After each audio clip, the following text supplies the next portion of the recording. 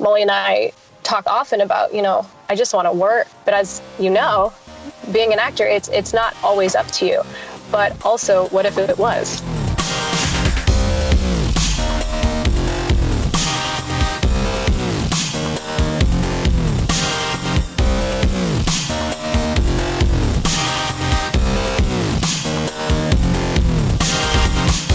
Listening to Inside Acting, a podcast dedicated to demystifying the inner and the outer game of success in the entertainment industry. I'm Trevor Algatt, and coming up in episode 294 today, I sit down for part one of my chat with actors Britt Harris and Molly Elizabeth Parker to talk all about their unique and really exciting international filmmaking project, Jump the Fence. They're making seven films with seven different filmmakers in seven countries in seven months. It is awesome. And in part one today, Britt and Molly share what sparked this idea, how they've moved forward through thick and thin to get not only the first film, but also the accompanying documentary about the making of that film in the can, and how and why they continue to choose for themselves the life of a working artist episode 294.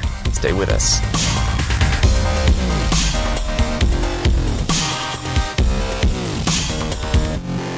Support for this episode of Inside Acting is brought to you in part by Rehearsal Pro, the current version of Rehearsal, the essential app for actors. It's available right now for your iOS device inside the iTunes App Store. So if you want to learn your lines, if you want to be off book confidently and quickly for your auditions, if you want to explore your character, make stronger choices, and do a whole lot of other cool stuff, go to rehearsal.pro slash IAP right now to learn all about all the kick ass features features in this newest version of Rehearsal, the groundbreaking app for your iPhone or iPad or your iPod Touch, designed by actors for actors. Again, that's rehearsal.pro slash IAP.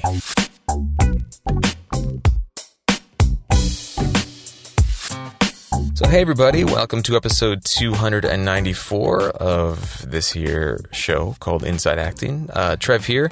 AJ is traveling in España as I record this, and he did send in a, pre recorded segment, a very brief pre recorded segment that I'm going to play uh, in just a second. But he will be live back with us next week for episode 295. Before I get to AJ's segment, just want to give a big, warm uh, welcome, shout out, hug to Brittany Horn, who just joined us uh, as a monthly contributing member. Brittany, thank you so very much for your support.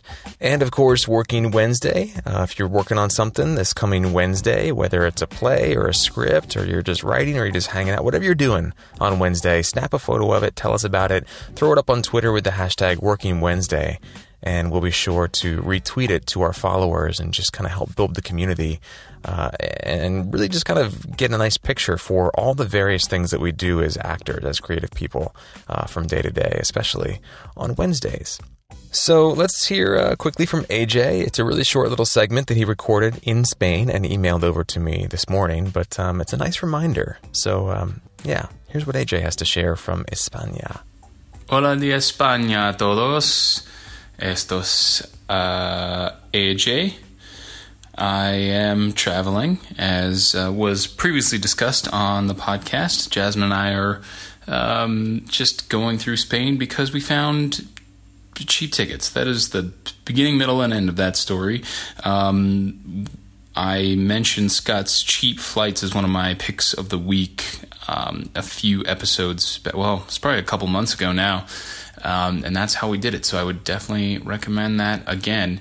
We've had an amazing time. More stories to come later. I'm still traveling though, so uh, just wanted to do a quick update and uh, and not, you know, spend too much time not being present to the the travel itself, which I have found or was reminded of when I got here and as we've been traveling that that's one of the most important things is just being present.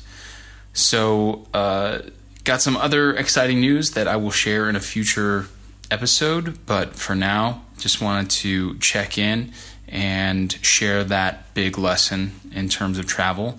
And I'm excited to get back to our regularly scheduled programming once I am back in the States. See you then. Adios. Presence, presence, presence, presence, awareness, mindfulness, uh, intentional directing of your energy to the present moment. So powerful and so important, especially the deeper into mobile technology we get in our culture. You know, it was funny. It was I was reading some, I don't know, op-ed piece and on some website not too long ago, and the author was joking about how somebody said to him like, "Oh man, you know, with all this artificial intelligence technology, isn't it crazy? Like the machines are gonna they're gonna take over pretty soon. They're gonna win." And the the author just kind of like turned to his friend and was like, "Dude, are you kidding me? Look around. The machines have already won."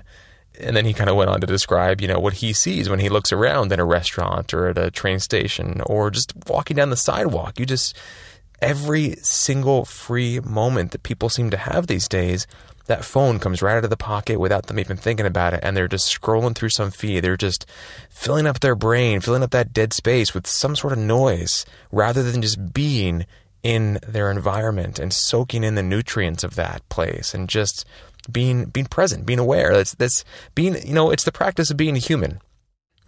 I don't know. I don't want to sound like a cranky old man here, but it, it's something that I'm, I'm feeling more and more strongly about um, the more uh, I practice disconnecting from my devices, and also the more I look around and and can't find anybody to make eye contact with in my day to day because uh, they're the phone, the almighty iPhone or Android phone or whatever, that screen reigns supreme these days. So more power to you, AJ. Awareness, presence, absolutely, man.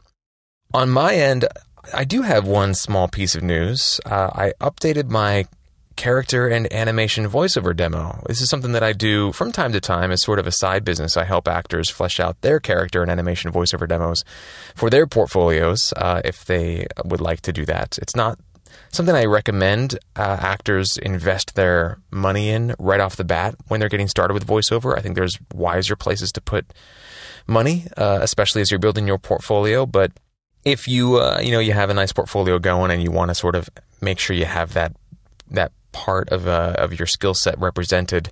That's something that I do, and uh, it had been a long time since I had updated my own. And if you'd like to listen to it, uh, you can find it on my Twitter feed. I, I, threw up a thing on my Instagram as well, and uh, I'll put a link in the show notes if you'd like to give it a listen. It's only about a minute. There's like twelve spots on there, and they are a combination of work I've done in the past, auditions I've done in the past that I just fleshed out with sound effects and music, and then a couple spots that I just sort of put together myself. There were funny voices I caught myself doing when I was like talking to my friend's cat or something like that. Uh, you'll be able to hear exactly which one that is when you listen to the demo. anyway, check it out if you like. Uh, link to uh, my updated demo is on the website. So that does it for this first segment of the podcast. Uh, before we toss it over to past me talking to Britt and Molly, uh, we do want to give a quick shout out to vo2gogo.com. Guys, this is where I've learned just about everything I know about voiceover, and I cannot recommend it highly enough. Vo2gogo.com is the award winning voiceover training system and the winner of Backstage's Reader's Choice Award for Best voiceover training four years in a row, four consecutive years. It was voted best voiceover training by the readers of Backstage. If you want to see what that's all about, you can go to vo2gogo.com slash start and access a free Getting Started in VoiceOver online class. It'll give you everything you need to know about how to start adding voiceover to your acting portfolio. That's vo, the number two, gogo.com slash start. And with that, let's talk to Britt Harris and Molly Elizabeth Parker, creators of Jump the Fence, a very cool film project. And uh, I think you guys are going to enjoy this this interview a lot. If you're not sort of itching to get out there and start making your own content and being ambitious and just getting it done after you listen to this, listen to it again. All right, enjoy, guys. I'll catch you on the other side.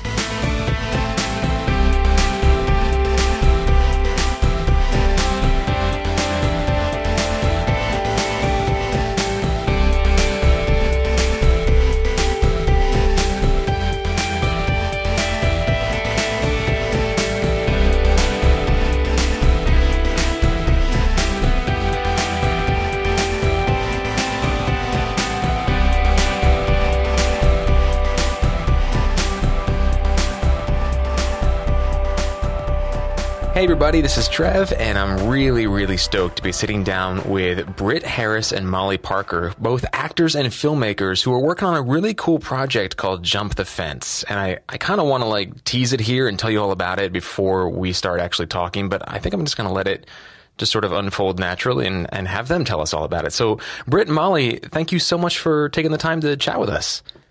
Hey. Of course. Hi. Thanks for you so having us. For having us on. I also want to just quickly preface that um, there's a a third person that you guys work with, Lacey, who uh, is not joining us on this interview. Is that is that correct? Um, yes, she hasn't worked with us yet. Um, the idea is that there are three of us who are available to act in these films, and sometimes it will be Britt and I, sometimes it will be Lacey and I. Um, there may be one where it's Britt and Lacey. Um, we've talked about me in the last film that we do, stepping out and working as an assistant director, and having Lacey and Britt act Very cool. in that film. So you guys are switching up roles quite a bit uh, throughout this process. Sometimes you'll be in front of the camera, and sometimes you'll be behind the camera. Yeah. Um, so we shot the first episode in Brazil, and um, I'm directing the the documentary aspect of Jump the Fence. So it was there's a little bit of going back and forth of you know we're acting in a film, but we're also being conscious of what's happening um, on the other side as far as the documentary goes. Yeah, and I feel like I should uh, quickly give a little tagline for what the project is because there is so much going on. I was just going to say, uh, let's let's go ahead and just describe what it is that you guys are up to. Yes. So Jump the Fence is an international filmmaking project where we do seven different films in seven different countries in seven months. Um, so, that being said, the added level on that is that we're making um, this whole experience in each uh, country into an episodic documentary. So there will be seven episodes um, following our adventure in learning about how to make independent film in different countries around the world. That is so cool. And you've got seven different directors from each of these countries as well. You're working with. That's right. Now, how did Yes. you? I, I, I, there's so much I want to talk about, and a lot of this was sort of sketched out on uh, your blog on the website, which is jumpthefence.org, I believe, if people want to check that out. And you also had a Seed and Spark campaign that I think was successfully funded. Yeah. Yes. Yes, it was. That's how we did it.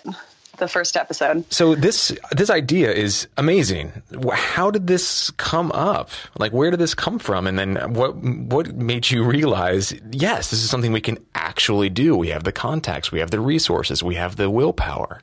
Where did this all start? So this all started. Britt and I acted in a film together, Birds of Neptune, directed by Stephen Richter, um, here in Portland, Oregon, which is where I still live. Um, and that film ended up going to several different festivals. The first one, we had our world premiere at Slamdance, um, which runs with Sundance in Park City, Utah.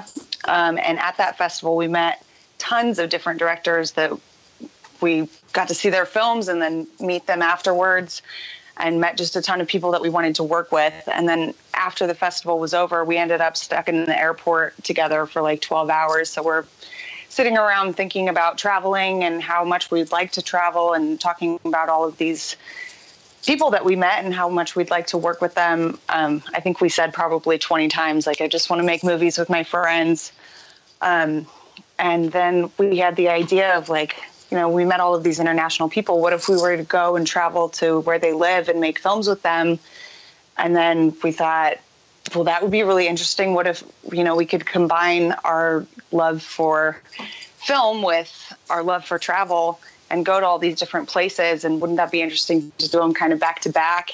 And then that would be a really interesting journey. Like, I bet other people would want to see um, what that's like and working with all of these different people. Um, and every film set is interesting. Things go wrong constantly. Um, a lot of problem solving, a lot of creativity, a lot of egos flying around, and the whole thing is very compelling to me. So we thought we could make, you know, each episode would be we go to a film, we get to show, we go to a country and get to show how that filmmaker works and their creative process. Um, they're all independent filmmakers, so like how are they getting funding? Who are the people that they're working with and what is their process like. These people that you met at Slamdance are these the people you reached out to in, if they're in their various countries and said, "Hey, we're doing this thing. Are you on board?" Yeah, absolutely. One of them, Jim Lounsbury Britt, met at the Arizona International Film Festival, but all of the other directors we either met at Slamdance or once once we got this idea rolling, I started watching some films that I had missed at the festival and reached out to other people in other countries. Um, Eleanor, I believe you pronounce her name Nachaima.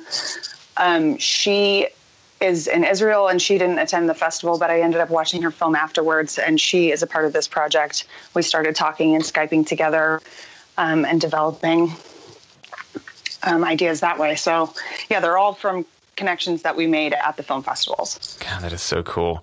And what what um I mean, obviously there are a lot of obstacles that come with something as ambitious as seven films in seven countries in seven months. Was it difficult to pitch these directors, or were they immediately like, "Hey, that sounds cool. I'll, I'll be happy to do my part"? It was kind of hit and miss. I mean, it's it's a lot to ask of somebody of like, "Hey, we loved your work. Do you want to write a movie for for us?" to be in and like we'll show up and do it.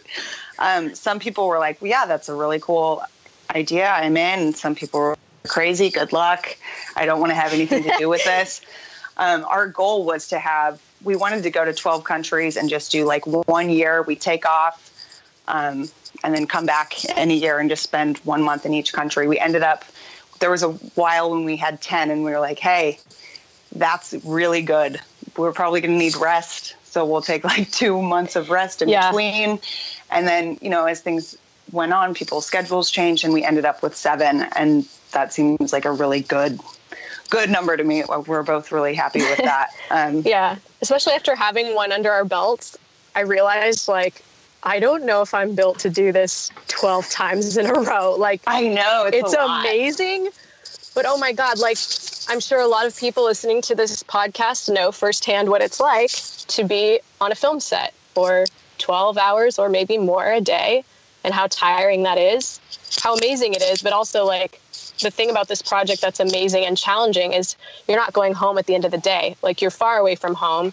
In addition to doing the job you are supposed to do in the film, in our case, uh, acting, we're taking on other ro- roles as well because we are also producing this overarching project of documenting everything. So it's like we're communicating with our personal film crew who we brought, who we brought, trying to map out um, pot- potential things we want to hit, like um, with our experience there, make sure it's documented. At the same time, in this last leg, we were trying to get um, our contributor gifts figured out and sorted from our Seed and Spark campaign. Like it was crazy. It was crazy. But yeah, not amazing. to mention speaking Portuguese, right? Because uh, like let's, let just that in forget. itself. Wow. Now, are these seven films in seven countries in seven months? Are these consecutive seven months, or is this more like a seven months total with a little bit of time here and there for various production uh, responsibilities? The original plan was to do it in a row, but what we realized is to get the funding that we need, it's it was it would be impossible to get the funding before having a proof of concept. So essentially, what we did for episode one is we crowdfunded it, are using episode one as a proof of concept to um, obtain the rest of the funding we need for the last six, and that would determine our scheduling. Wow. And the funding includes uh, travel, lodging. Are you compensating the filmmakers? I mean, how, how's that all working out? Um, they are all funding their own films as if it's going on without us, and we just show up as free actors who are working on it. So they're their own. All of the filmmakers are funding their own projects in whatever way that they do that individually. Wow, we are okay. we are um, funding our traveling crew, Britt, me, and our cinematographer Ian Stout um, to come with us, and then what we did last time is we hired a local sound person who was great and so nice to have somebody who can speak the language and help us in that way. Um, so yeah, it's like food and lodging. We, I wouldn't say we paid ourselves. We paid our rents while we were gone, so we still had apartments to come home to when we got back. Um, That's a good way to put it. yeah. wow. Wow. And are these feature length films or are these shorts or, or what are we looking at in terms of um, what each project is? It's all over the place. Um, so this last one that we shot in Brazil, um, Raíces Roots, um, was intended to be a feature film, and he is editing right now. Um, and the intention is for that one to be a feature film. It may end up being shorter than that. Um, we are not 100% sure. Um, Jim Lounsbury has expressed that he would like to do, make a feature film with us. And he's from Australia. Ones, yep. Um, we're going to be w- working with Sasha Grandstein in China, and he's doing a sort of like an experimental short piece. So it's really like whatever is exciting to that director, whatever kind of film they make, it's it's up to them what they want to do. Yeah, and also because we have like a longer timeline than we thought now, and the exact details of the rest of the scheduling are still unfolding. It allows these directors to have more time in development with their pieces, which I actually think is great because before we were trying to get everyone to give us a log line and have everything ready as airtight as it could be. But now I just feel like it's it allows more time to take joy in the pre-production of all these projects that our friends are graciously um, financing themselves. So I want them to be able, be able to have the time to really make a movie that they want to make and have the time to flesh it out uh, the way they can. So I think that is a blessing in disguise. But I think we, Molly, correct me if I'm wrong, but I think as of now, at least three of the seven projects are feature films. Um, I believe that's Greece, correct, yeah. Australia, and Brazil. Yeah. But we'll see how the rest shakes out. As of now, the rest are going to be uh, shorts. Wow, Greece, Australia, and Brazil, and, and, the other four. I mean, I know, I know one you're shooting domestically here in the states. Uh, what are the other three? That's right. Um, so the one domestically is in Portland, Oregon, in the U.S., China, um, Norway, and Israel. Wow, and is that is, all of them? Yeah. Is uh, Greece next? I don't know um, where I read that or saw that. Um, that's probably just the way that we arbitrarily threw up the countries up on our website. But um, next, next should be Israel.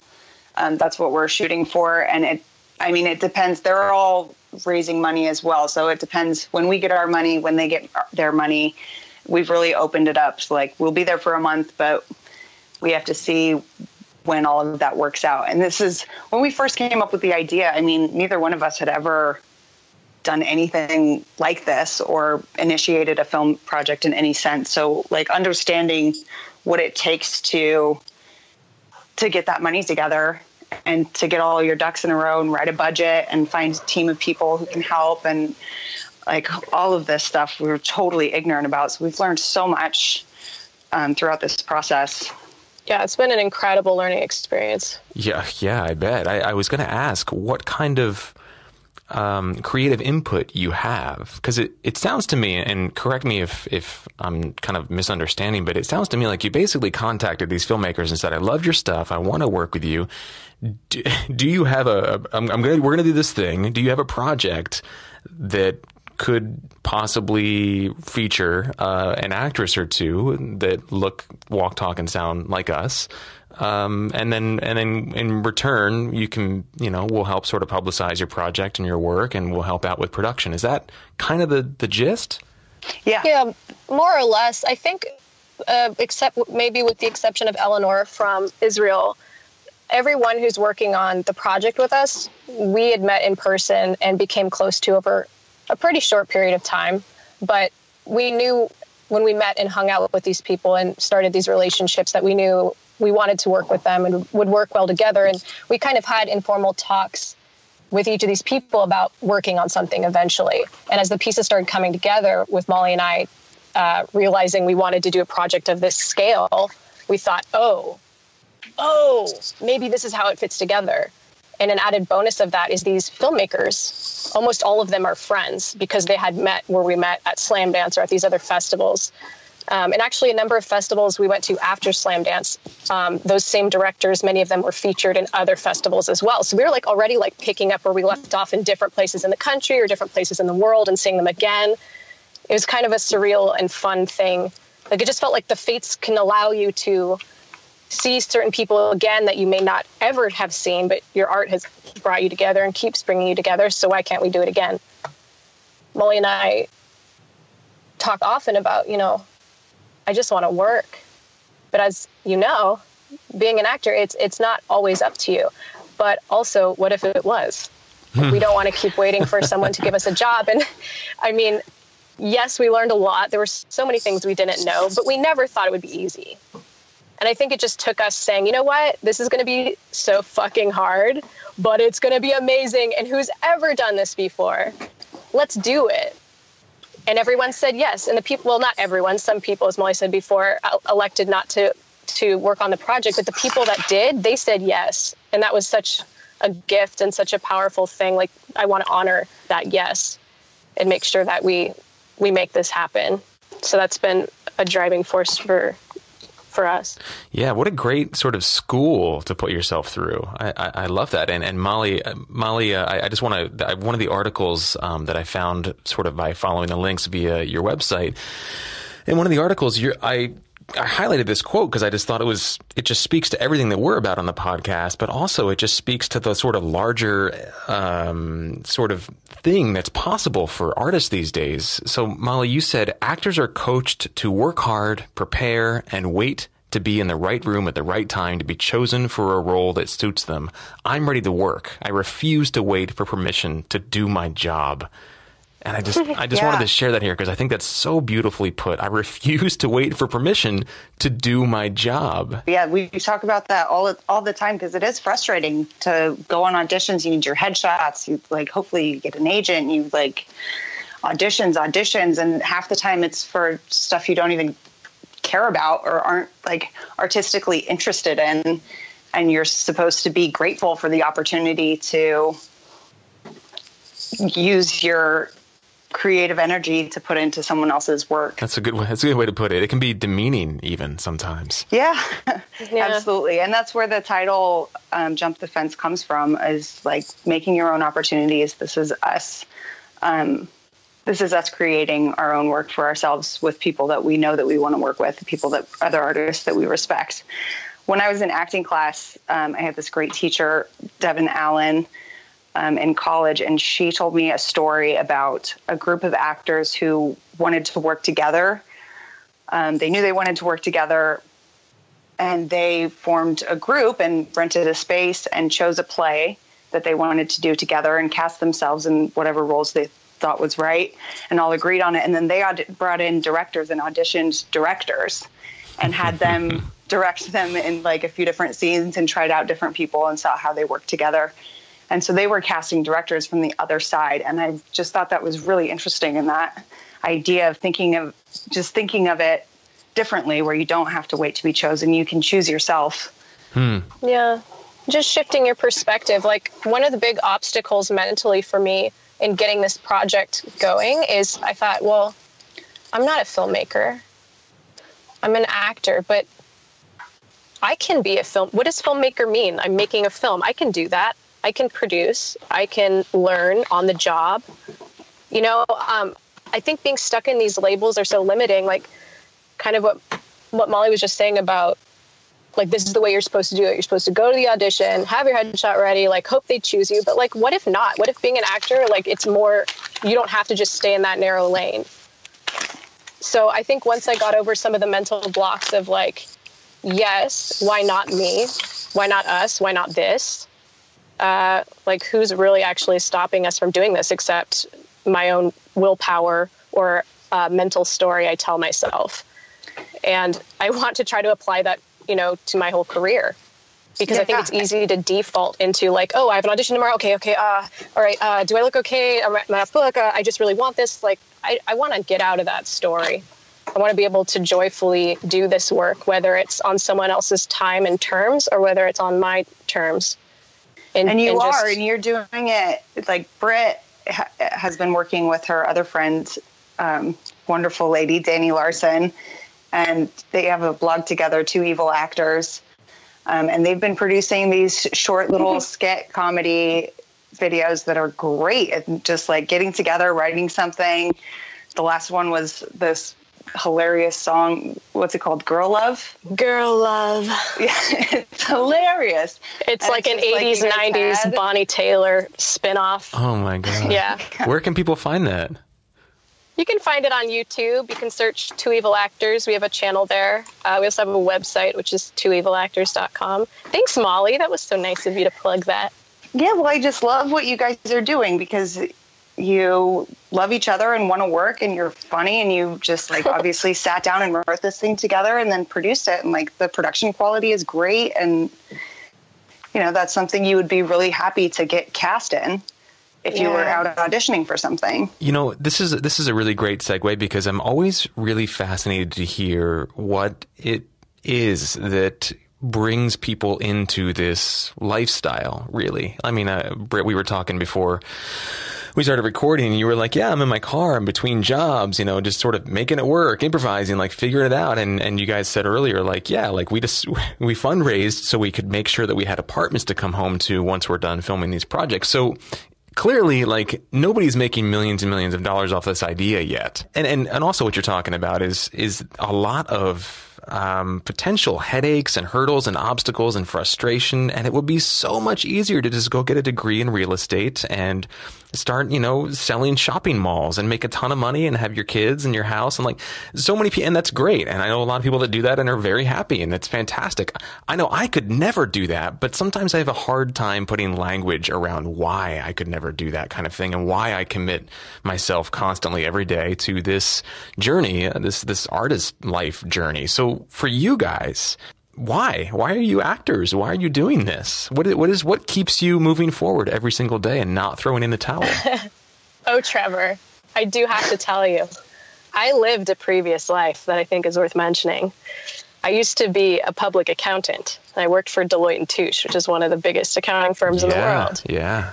And I, I kind of, that was in my early 20s. And I like, I quit cold turkey one day and I've been doing what I'm doing now since. But it's weird because like I think as kids we all know what we want to do. And we spend our whole adult life trying to get back to that place, you know? And in college I studied theater and accounting and ended up pursuing accounting because I didn't think, you know, acting was a legitimate career or that had been told to me too many times.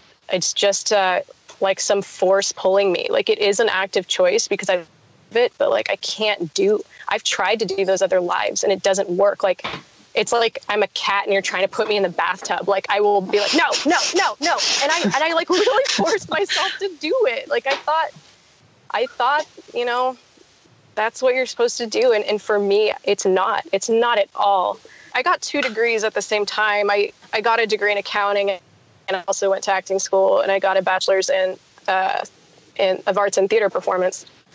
And I think it was, you know, family pressure and, and all that where I, you know, I chose I chose quote unquote accounting out of school, but yeah, I don't know. It's it's weird. It's weird to think I did that once, but I did, and it was weird. it was weird. How, how long did you how long did you last at the uh, at the accounting job before you were like I can't take this uh, anymore. Like I gotta go year. be an actress.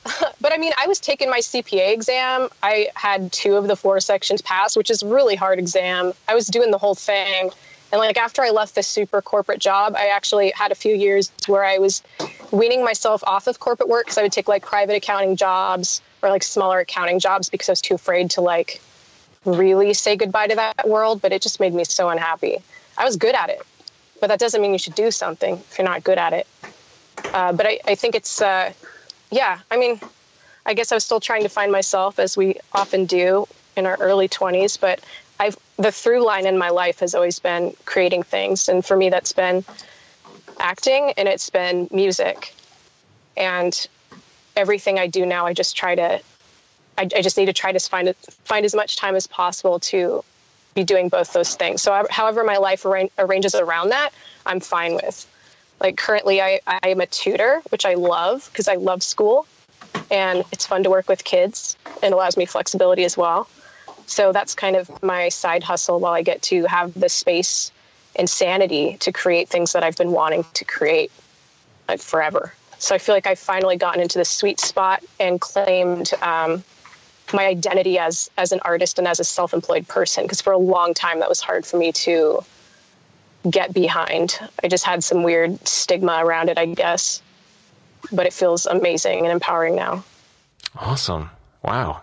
Uh, Molly, how about you? What's uh, wh- why are you doing what you're doing? Um, I never took a corporate job. I knew I wanted to act when I was a little kid. Um, first time I saw a play blew my mind, and I just have been like tunnel vision focused on it since then. And it's just like I said when I was a kid, I want to be an actor. I have a really supportive family, and it's just like that's what I'm doing. And I, the reason I keep doing it just comes down to like what makes me feel the most alive. Like I love to create, and like I have, I've been working in restaurants for, you know, since my very first job. I'm bartending now, but I use my free time to create because that's what makes me happy. That's what makes me a sane person. That's what makes me feel on top of the world. So, I mean, I do all kinds of different things. I write, I, you know, I sing a lot, I play music, I, I draw, like, but acting has always been the thing that, like, resonates with me the most.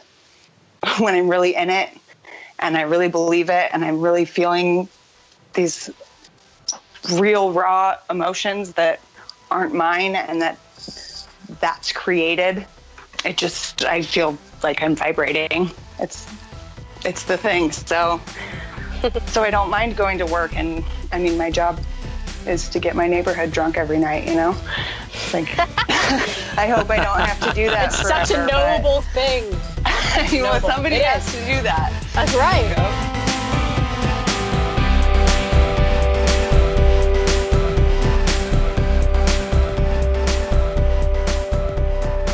All right, guys, welcome back. Hope you enjoyed part one of my chat with Britt Harris and Molly Elizabeth Parker.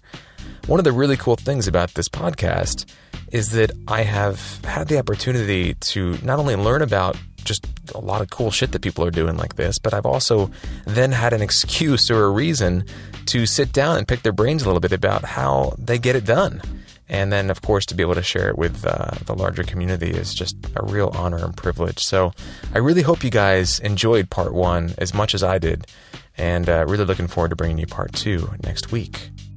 So I didn't say this earlier, but we have a, a great list of questions queued up that uh, listeners have written in that we're excited to respond to uh, next, starting next episode. Uh, so we are going to um, to respond to those, but I'm going to wait till AJ's back with us live to really dig into those. So picks of the week, and AJ wrote in with a pick of the week. I hadn't heard of this, and then I watched the trailer for it just before I started recording here, and it, looks great. I added it to my uh, to do list too. That's how I get shit done. Even watching movies, I have to add this shit to my to do list. Uh, I added to my list so I could make sure to check it out this week. So uh, here is AJ's pick of the week. My pick of the week this week is a movie. Don't you just love airplane movies? Uh, well, sometimes they're good, sometimes they're bad. You're kind of a captive audience. I guess you could change it to one of the other movies, but I find that I tend to have good luck with airplane movies. And uh, this is a film that I know has sort of come and gone. I mean, if I was watching it on an airplane, it's been at least a few months, right? But uh, Jasmine and I watched The Big Sick on the plane on the way over to Spain, and we really, really enjoyed it. It was really well done, well written, uh, heartfelt, uh, funny, and poignant. You know, they cover some some really honest ground in that film. So, if you have not seen it yet, I would definitely re- recommend checking it out. That's The Big Sick. Yeah, it looks great. And it's cool because every time I see a film like that that is, you know, sort of on the more indie side of things, I just get more and more inspiration for what um, my next project might look like. It's, you know, they say good artists copy or imitate and great artists just flat out steal. I saw a lot of stuff in that trailer that I'm like, ooh, I'm going to steal that. Oh, I'm going to steal this. And um, isn't that what we all do? My pick of the week this week is um, surprise, surprise, environmentally themed. Uh, it, it, I got an, an, email from the National Resources Defen- Defense Council a couple weeks ago.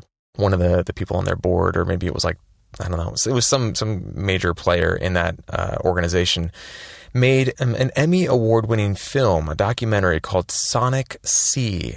Sea as in ocean, Sonic Sea. and it, you can get it on Vimeo. You can stream it on demand on Vimeo, and and they gave me a, a, discount code to like basically zero out zero out the cost of streaming that. So instead of three bucks to stream it, you can stream it for free. It's a powerful documentary, man. I, I, I shared about it in my most recent newsletter, and I, I talked about sort of why it really hit home for me, and it, it hit home for me for a couple reasons. Number one, because I'm just an animal lover, shameless animal lover. Never want to see any creature suffer especially animals who are largely helpless at the hands of humans.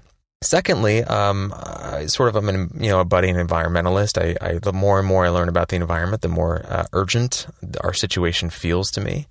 And thirdly, uh, I'm a sort of a lifelong swimmer. Like the the water has long been a place of solace and a sort of moving meditation for me. And so if you combine all those things together, uh, you get a film like Sonic Sea, which was uh, at times difficult to watch, but I thought a really, I thought it was a really important film, and it ended on a really hopeful note. So check it out. It's something that I hadn't thought about at all. I don't want to say anything more about it because I don't want to give anything away. But um, I was uh, moved, and uh, this whole new world, literally, this whole new world is now uh, on my spectrum um, of just human activity and our impact on the environment and other animals and it, it's it's an impressive piece of work. Check it out. Sonic Sea is the name of the documentary. Link to it on our website in the show notes, and then of course you can zero out that rental cost and watch it for free by using the promo code Sonic C S E E Sonic C Sonic S E E. We have a listener pick of the week as well. This comes to us from Tony. Tony just stumbled across, I'm quoting the email now, just stumbled across this story video by the Smithsonian from 2015.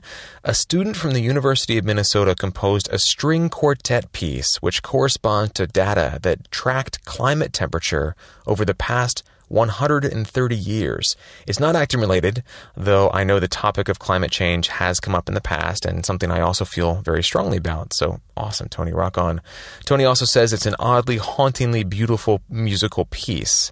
I actually came across this story back in 2015 when it first came out and a lot of artists are doing this they're they're taking just this mountain of scientific evidence about how humans are you know impacting the environment and turning this data, which is really kind of terrifying, into artwork of some kind. And a few people have have taken this temperature data and transmuted it into music or musical pieces, either through uh, computer programs and algorithms, or they've just flat out like transposed it into music and then played that music. So this is pretty cool. The string quartet piece. There's a link to it on our website in the show notes for this episode. Check it out.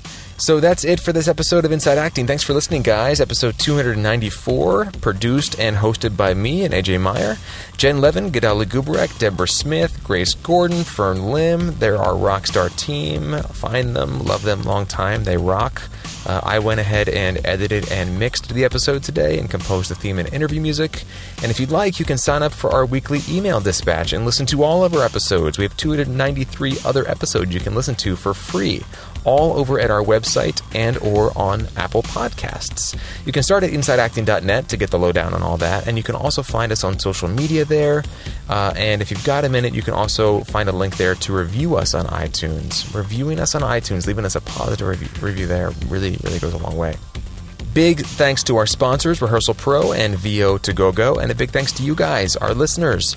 On our website as well, you can subscribe to our weekly newsletter, get links to everything we've talked about in this and every other episode. And if you'd like, you can also be like Brittany from earlier in the episode and support the continued production of the podcast with either a one time, one off, no strings attached financial contribution or via an ongoing contribution every month as part of our membership. You can cancel that at any time as well.